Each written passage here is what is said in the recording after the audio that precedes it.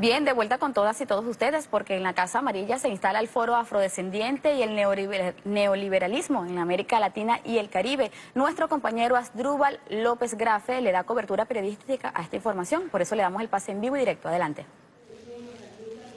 Saludos Adriana, retomamos este contacto desde la Cancillería venezolana. A esta hora continúa la discusión del foro afrodescendientes y el neoliberalismo en América Latina y el Caribe. Vamos a escuchar a Casimira Monasterios, representante de movimientos afrodescendientes, quien realiza la lectura de la declaración final de este encuentro. Las relaciones exteriores y el movimiento social afrovenezolano nos hemos reunido en la ciudad de Caracas, en la antesala del 164 aniversario del Día de la Abolición de la Esclavitud en Venezuela, 1854, además del Día Internacional de Recuerdo de las Víctimas de la Esclavitud y de la Trata Transatlántica de los Esclavos, 25 de marzo.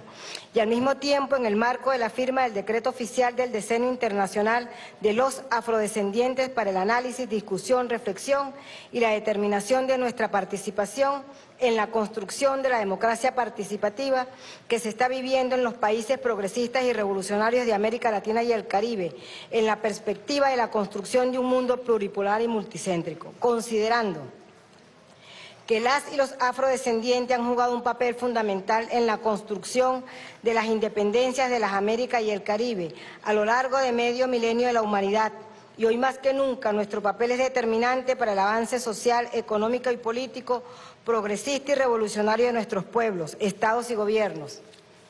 Que la República Bolivariana de Venezuela, bajo el liderazgo del comandante Chávez, las y los afrodescendientes han tenido una, mejor, una mejora cualitativa de sus condiciones sociales y de participación en la construcción del proceso bolivariano sin precedente en la historia de Venezuela que los y las afrodescendientes de América Latina y el Caribe, ante las asimetrías de desarrollo regional, necesitan urgentemente un mecanismo de integración donde se contribuye a erradicar esas asimetrías sin costo de endeudamiento étnico, como se experimentó y se sigue experimentando en muchas comunidades, por ejemplo, Brasil, Cuba, Ecuador, Venezuela, entre otros, donde la banca internacional ha dado resultados catastróficos y más endeudamiento social y económico. La deuda histórica, que la deuda histórica moral, política y social con el pueblo haitiano es una agenda pendiente e impostergable. Chávez impulsó el apoyo incondicional para el pueblo haitiano. Hoy se necesita con urgencia el compromiso de los pueblos del mundo para la reconstrucción con dignidad del primer país libre de la diáspora africana en el mundo que los y las afrodescendientes de América Latina y el Caribe, en el marco de los nuevos procesos de integración que se están gestando y viviendo en las Américas Latinas, en, en América Latina y el Caribe, en el primer decenio del siglo XXI, han roto con los paradigmas de la dependencia de las potencias extranjeras ajenas a los intereses de África, América Latina y el Caribe, cuyos pueblos siguen sufriendo los rigores de las amenazas e intervención del imperialismo que el pueblo afrovenezolano proponente en la proclamación del Decenio Internacional de los Afrodescendientes, capítulo Venezuela, en su resolución 68-237, bajo el lema Reconocimiento, Justicia, Desarrollo y Paz, se pone en la vanguardia de la lucha por la emancipación real y definitiva. Acuerda, primero, los movimientos sociales afrodescendientes de América Latina y el Caribe dan su respaldo irrestricto al presidente constitucional de la República Bolivariana de Venezuela, Nicolás Maduro Moros, ante los ataques y persecución económica, financiera, política y de terror liderada por el imperialista y supremacista Donald Trump.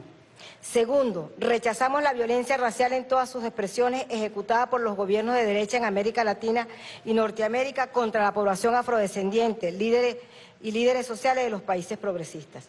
Tercero, celebramos la firma histórica del Decenio Internacional de los Afrodescendientes y exhortamos a las autoridades gubernamentales a apoyar el plan de acción construido por el Poder Popular Afrovenezolano para materializar las acciones que redunden en la inclusión de los afrodescendientes, garantizando la tan anhelada felicidad suprema de los pueblos. Cuarto, Respaldamos y demandamos la implementación de planes, programas y proyectos orientados a garantizar una mejor calidad de vida de los pueblos afrodescendientes en todos los mecanismos de integración y cooperación multilateral, tanto a nivel regional como a nivel mundial. Caracas, 23 de marzo de 2018.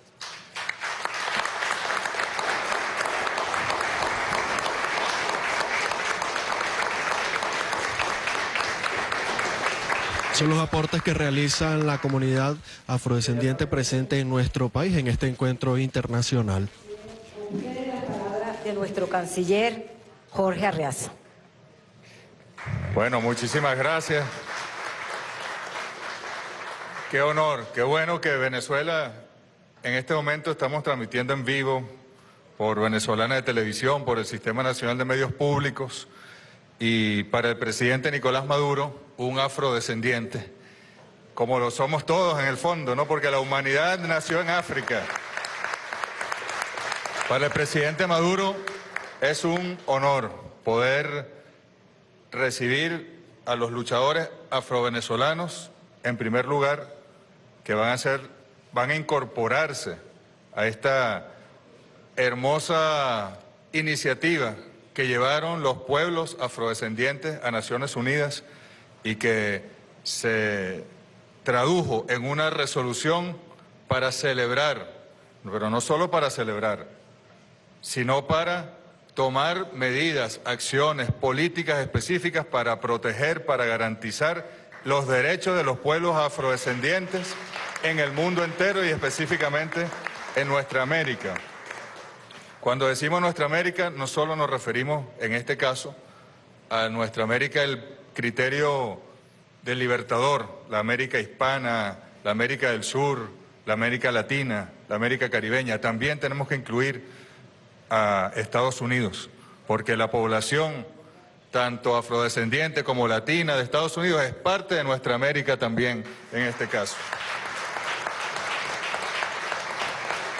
Mañana estará el presidente Maduro firmando el decreto para que Venezuela, ya formalmente, porque hemos estado incorporados desde el año 2015, todos los movimientos populares de defensa de los derechos de los pueblos afrovenezolanos han estado trabajando, haciendo los planes de acción del Poder Popular, pero bueno, ahora formalmente ya con un decreto presidencial que saldrá en Gaceta Oficial la próxima semana, el presidente Maduro mañana será acompañado por todos ustedes de Venezuela y del mundo para firmar ese decreto y darle esa buena noticia adicional a los pueblos afrodescendientes de este mundo. Yo quiero destacar la presencia de los invitados y las invitadas, que más que invitados y invitadas son parte de la familia afrodescendiente y Venezuela es su patria, Venezuela es su hogar. Aquí están ustedes en casa.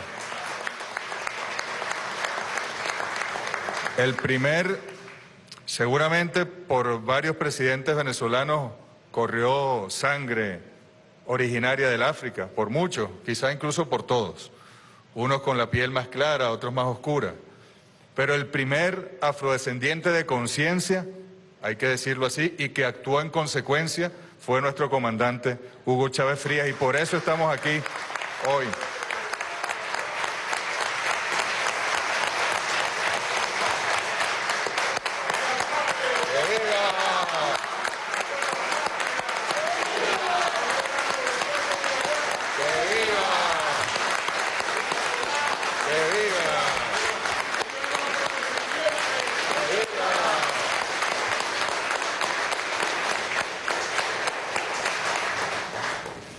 Y el segundo presidente con conciencia afrodescendiente es nuestro presidente obrero, trabajador, el presidente Nicolás Maduro Moros.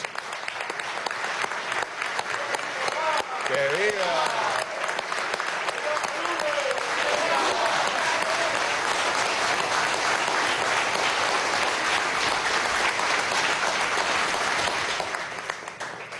Y en ambos casos, presidente comandante Hugo Chávez, el presidente Nicolás Maduro, no solo es porque es evidente en el color de su piel, en sus orígenes, en la clase social a la cual pertenecieron, se desarrollaron, sino también precisamente en el caso del presidente Maduro porque es profundamente chavista. Y ser chavista, Hugo Chávez logró sintetizar para nosotros, lo decimos con humildad en Venezuela, todos los valores dignos de la humanidad, el antiimperialismo, el amor por los pueblos indígenas, el amor y la defensa de los pueblos afrodescendientes, el bolivarianismo, el socialismo, el cristianismo, entre otros, todos aquellos valores que se suman, que interactúan los unos con los otros para que este mundo sea justo, sea digno, sea igualitario, sea un mundo donde nuestros niños y niñas puedan ser felices, puedan sonreír.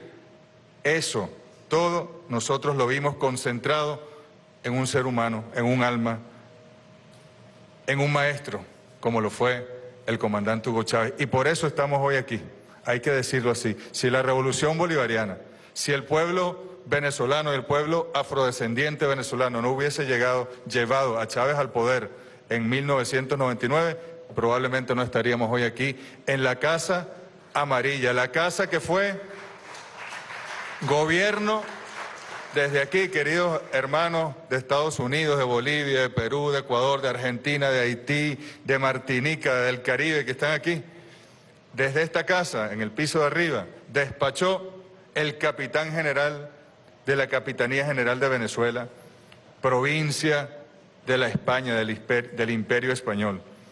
Y desde el balcón que está en el despacho de la hoy presidenta y afrodescendiente, mujer valiente venezolana, Delcy Rodríguez, desde ese balcón. Un aplauso para Delcy.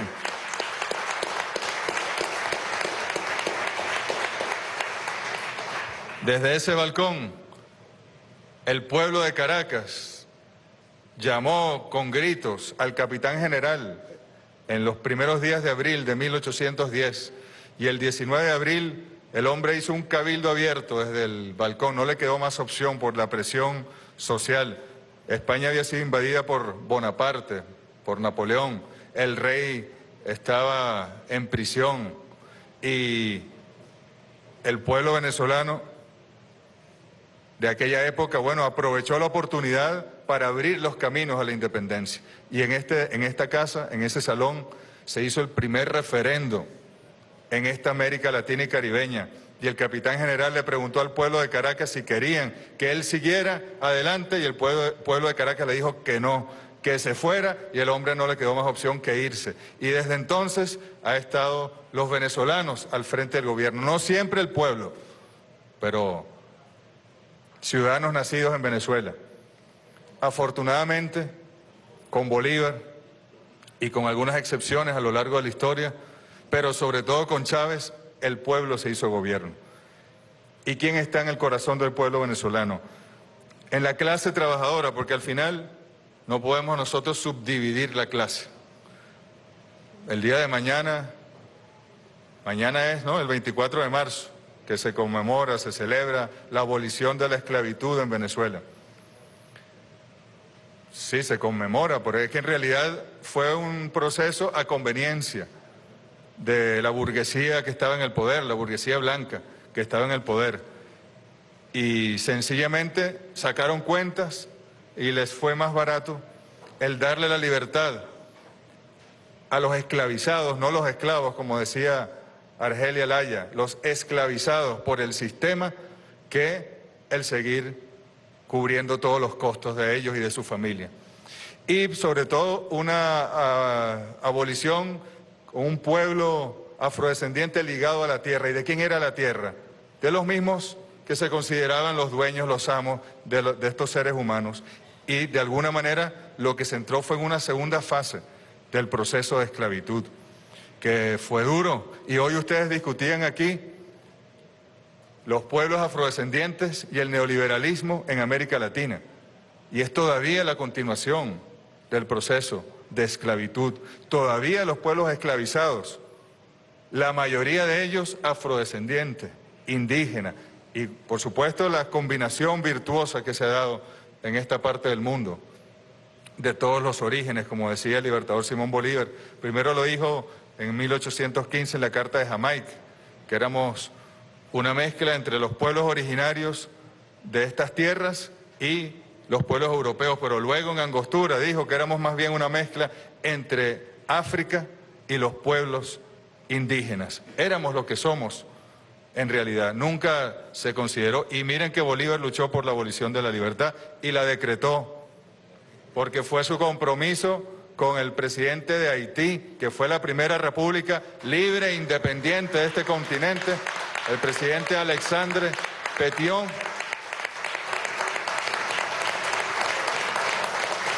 Y porque al final los ejércitos de Bolívar, ¿con quién contaron? Con los afrodescendientes y con los pardos y con los mulatos y todas esas categorías que se fueron generando a partir del mestizaje. Eh, si no hubiese sido imposible independizar estas tierras. Pero miren, aprovechando que estamos en vivo, yo quiero destacar, por supuesto, Casimira, que nos estaba leyendo esta declaración importante con puntos concretos de apoyo al presidente Nicolás Maduro, a esta revolución que está asediada por los mismos que han explotado y oprimido a los pueblos originarios de África. Y por supuesto, los planes de acción y pasos a seguir en coordinación con los movimientos afrovenezolanos y afrodescendientes del mundo. Alexis Machado, Mónica Rey, de la CONAFRO. Aquí está Mireille Fanón, gracias, de Martinica. Ella es hija de Frank Fanon. Bueno, su padre hizo grandes aportes, no solo teóricos, desde la práctica, grandes aportes a estas luchas por la libertad y la igualdad de los pueblos afrodescendientes. Está compatriota venezolano Benito Cubaquintayo Troll, director de una película que se va a estrenar hoy mismo. Benito, Mamá África. Maxine Mabón Brown, jefa del Departamento de Danza del Ministerio de Turismo, Deporte y Cultura de San Vicente y las Granadinas. Pueblo hermano. Juliana Moraes de Góis, de la República Federativa do Brasil. ¿Dónde está Juliana? Allá asesinaron la semana pasada a una gran luchadora por los pueblos y los derechos de los afrodescendientes brasileños. Mariel Franco. Bueno, honor y gloria a ella y que siga la batalla por la libertad en el Brasil a pesar de las circunstancias actuales. Cuenten con Venezuela, cuenten con la revolución bolivariana. Federico Fernando Pita, fundador de la diáspora africana en la República Querida de Argentina. Yvette Modestín, miembro de la directiva del Instituto del Mundo Negro Siglo XXI de los Estados Unidos de América. Juan Rivera, afroperuano de la República del Perú. Bienvenido, hermano. Que iba el Perú. Están soplando Buenos Aires en Perú. Por lo menos mejores que los de ayer. Esperemos, ¿no? Yuderquis Espinosa, activista afrodominicana de República Dominicana. Elizabeth Méndez, afroecuatoriana el Ecuador presente, Víctor Herrera, de nuestra hermana y eterna gemela Colombia, el gran proyecto de Libertador, Venezuela, Colombia, Ecuador, Perú, Henry Boisorín, también de la Argentina, ah no, pero en este caso él es haitiano, ¿dónde está Henry? Henry, de Haití, tú estás aquí por Haití, aunque vives en Argentina, que viva Haití. Wayne Wells, Wayne Wells de Barbados, Barbados, bienvenido, welcome. Juan Rivera Castañeda, abogado experto en conciliación extrajudicial, gestor cultural del Perú también, bienvenido. Agustín Lao, de nuestra hermana República de Puerto Rico, bienvenido. Que viva Puerto Rico libre. A Quinjele Umoya, de los Estados Unidos de América. Bienvenido. Welcome. Osvaldo Bilbao, también de la República del Perú. Bienvenido, hermano.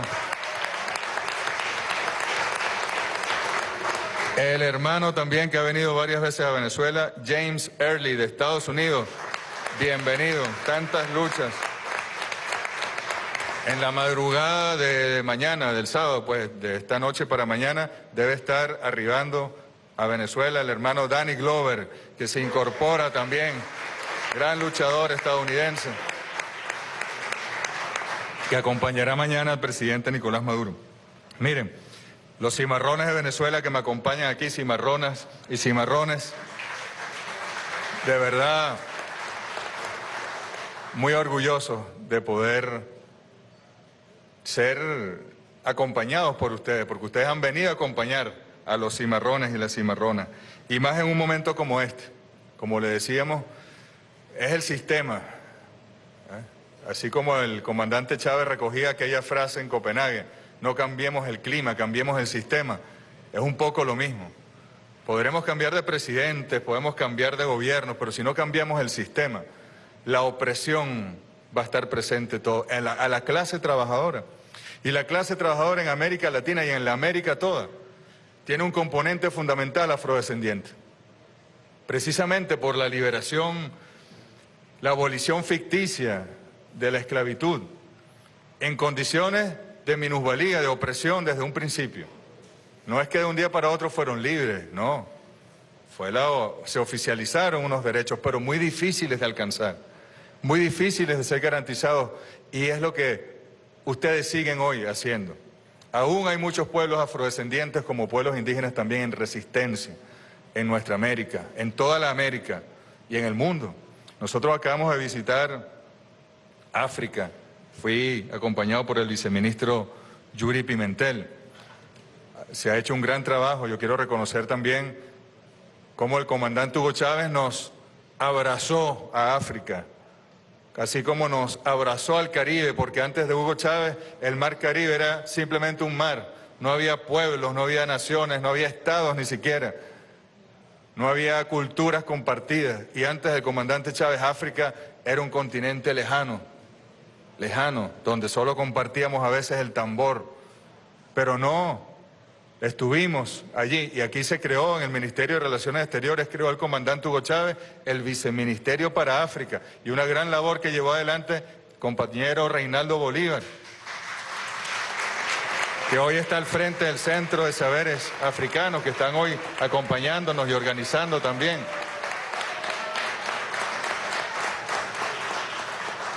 Y ese encuentro, miren, cuando nosotros nos reunimos con cancilleres, por supuesto, pero con presidentes también y con pueblo, porque hicimos actos o se organizaron actos de solidaridad con la Revolución Bolivariana, a los cuales fuimos invitados. Estuvimos en Nigeria, estuvimos en Guinea Ecuatorial, estuvimos en Angola. En Guinea Ecuatorial, en Angola nos reunimos con el presidente Obiang, con el presidente Lourenço. Estuvimos en los dos Congos también la República del Congo y la República Democrática del Congo. Igual nos vimos con ambos presidentes, una conversación muy interesante en Kinshasa con el presidente Kabila.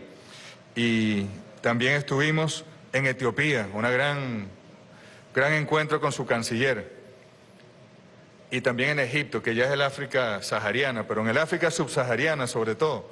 Nosotros encontramos primero, uno se sorprende a ver la similitud, la afinidad, hasta de la madre naturaleza con nuestra América, del clima, del cielo, de la luz, de los colores, de la sonrisa, de la mirada de los africanos y las africanas, pero también las heridas del imperialismo, del colonialismo, que no han cesado, no han cesado como no cesan aquí en América Latina y el Caribe, y como tienen y tratan de acorralar a Venezuela hoy en día, tampoco han cesado en África. Y uno ve allá actuando. En, algunos casos, en África es más claro, les correspondió el colonialismo europeo, pero está presente. Uno ve cómo actúa todavía gobiernos de Europa para, por ejemplo, garantizar conflictos para quedarse con los recursos naturales de algunos países. el ejemplo de la República Democrática del Congo es dramático por el coltán y otras tantas riquezas, el cobalto y otras tantas que tienen ellos. Y está allí presente el colonialismo e imperialismo en una nueva fase, por distintos medios, pero al final todos ellos, presidentes, desde presidentes hasta maestros de escuela, hasta los compañeros que nos recibían, trabajadores de los ministerios, hasta los estudiantes con los quienes nos reunimos, académicos, africanos, todos ellos reconocían y con admiración y con amor, pudiésemos decir, así nos lo expresaron unas mujeres cantando al comandante Hugo Chávez y su liderazgo y su presencia en África. Fue muy hermoso. Hablar, a veces no nos entendíamos bien porque hablaban francés un francés a veces con un acento distinto al que uno puede estar acostumbrado a medio entender, pero uno, uno entendía Hugo Chávez. ¿Ah? Y uno entendía en inglés Hugo Chávez. Uno estábamos claros allí de que Venezuela y, y África se reencontraron. Y es mucho lo que hay que hacer. Por ahí vuelve Yuri en estos días a, otra, a otras visitas, pero es tanto lo que hay que hacer. Y además que somos potencia. El comandante Chávez, ¿saben por qué yo fui? Porque el presidente Maduro, el canciller en Venezuela no hace lo que le da la gana. El presidente Maduro me instruyó ir a África. ¿Por qué? Porque tenemos que reforzar la cooperación, es verdad, la, la cooperación sur-sur, pero con África fundamentalmente. Y miren, estos eran continentes que hace millones y millones de años estaban unidos. Y nos separó la física de la naturaleza. Pero tenemos que volver a unirnos, ya no será de esa manera tenemos que volver a unirnos. Nosotros ayer recibíamos la buena noticia, por ejemplo, para bien, hay que analizar los resultados, pero la, Unión Africana, que es un proyecto de integración africano, ha logrado una, un área de libre comercio intraafricana, donde van a comerciar entre los países africanos. Nosotros no hemos llegado a ese nivel en América Latina y el Caribe, no hemos llegado hasta allí. Mercosur nació en 1991 con el espíritu de una unión aduanera y luego un mercado común y no se avanzó, no fue más allá. Más bien han excluido incluso países últimamente, Venezuela. Y África va y tenemos cuántas potencialidades no hay con África, pero además cuánto, cuánta afinidad cultural, humana tenemos con África. Y los pueblos afrodescendientes, a veces uno va por el Caribe, compañero de Barbados, yo sé que no es tu caso, pero uno va por el Caribe y pregunta y no, algunos compañeros afrocaribeños no saben cuál es su origen, no saben de qué parte de África provienen. Eh, algunos nos dicen los expertos que prohibieron el tambor, la corona británica prohibió los tambores. Entonces por eso surgió el Steel Band, porque no les permitían tocar el tambor porque les recordaba a su madre África y querían romper aquellos vínculos por completo. Bueno, nosotros tenemos que volver a recrear, volver a construir esos vínculos con nuestra madre África y por supuesto con su diáspora en nuestra América Latina y en el mundo. Y hoy, por ejemplo, el gobierno de Estados Unidos, cuando se dice que el gobierno de Estados Unidos es supremacista, supremacista, estamos partiendo de un concepto donde los pueblos afrodescendientes en Estados Unidos tuvieron que enfrentar en los años 60 del siglo pasado, 50, 40, pero que se desarrolló a lo largo de todo ese siglo, la supremacía racial, entre comillas, de la élite blanca gobernante. Y hoy resulta que esa supremacía que ha llegado al poder en Estados Unidos pretende imponerse en el mundo entero y pretende imponerse